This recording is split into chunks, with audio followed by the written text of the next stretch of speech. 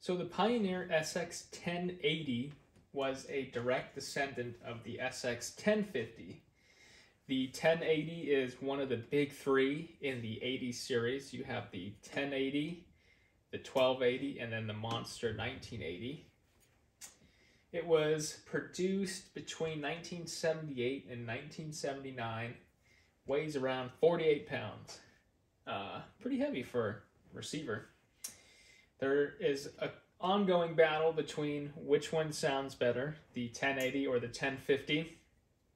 People say the 1080 sounds better, and people say the 1050 sounds better and it's built better than the 1080. Having listened to both, uh, I stay neutral. Uh, they both sound just incredible in my opinion. The only thing I do like better about the 1080 is that it has uh, the wattage needles here that bounce around while you're listening to music, which is pretty cool. The original price back in 1978 was around $700. In today's money, that's $3,142, which is a pretty penny for a receiver. You can pick one of these up on eBay, depending on condition anywhere. I've seen them anywhere from a thousand to all the way up to 2500 for one in immaculate condition. The outer bonnet here, I believe is walnut. Very nice. It's not a veneer, it's actual wood. And we have a brushed aluminum faceplate here. Uh, we're also missing two knobs, but we'll have to order some of those that's just a brief overview of the whole unit, and now we'll get into the specs. So some of the specs on the 1080 are that it can put 120 watts into 8 ohms RMS, which is that's respectable numbers. And it has a total harmonic distortion of 0.05, whereas the 1050, I believe, had a 0.1 percent harmonic distortion. I'll have to check. Um, it has a very large transformer here.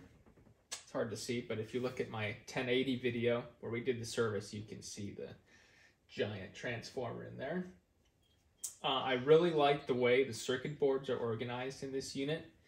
Um, it's very easy to access most things, uh, and it actually helps with heat too. Uh, on the 1280, um, it feels like everything's kind of crammed together, and so uh, the like the power supply boards here, two power supply boards are like right here, and they both run pretty hot. So there's usually a lot of heat that generates in that area. But the 1080, I haven't noticed any heat issues. It, I've had this thing pumping for hours at I don't know pretty high volume levels, and it just it doesn't skip a beat. Uh, the only drawback with the 1080 is that the output transistors are obsolete. They're mounted to this big heat sink back here. They don't make them anymore, and they don't make anything like them anymore. But there is a workaround to put in modern transistors in case uh, the original ones ever blow. This one's still rocking the original ones, and they haven't given me any issues. But if one of them decides to melt melt down, then I'll go through the process of making a circuit board and putting on uh, modern transistors to keep this thing jamming. so that's basically it for the specs. I'll put up a picture of the spec sheet that goes into a little more detail about what this unit can do. I'll put that up on the screen. But uh, overall, it's it's a pretty robust unit. It's very respectable numbers, and it sounds just incredible. So uh, now let's get into some of the functions it has and inputs and knobs and switches, see what they all do, and uh, let's check it out. Okay, so when you first flick on the power switch of the 1080, it has a it has protection circuitry. So when you first turn it on, it kind of does this in layman's terms, it does a self check on itself to make sure that there's no issues in the transistors, there's no shorts anywhere, and there's no extremely high DC offset, which is kind of nice. Uh, so we'll turn on the power switch here, and it takes a little while for this unit. I think it's around 10 or so seconds. So we'll turn it on, and if in about 10 seconds you'll hear the protection relay click, and that means everything's okay. and you're ready to play some music. So let's turn it on here.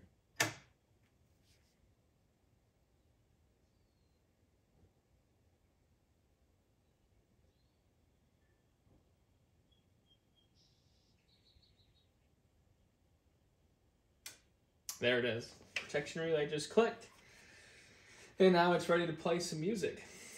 So we'll start up here uh, at the top selection switches here. Here you have your speakers A and B, so you can have two sets of speakers that uh, you can hook up to this thing at one time, and you can have them both playing at once too. So that's all this is, speaker A and B. Here you have some filters. You have a 15 hertz filter that is used on uh, for your turntable. Some turntables produce a very, very low frequency, uh, and so that just filters that out. And you have a six kilohertz uh, filter as well. So this, if you have a lot of crackles and pops while playing a record, that helps to filter those out too.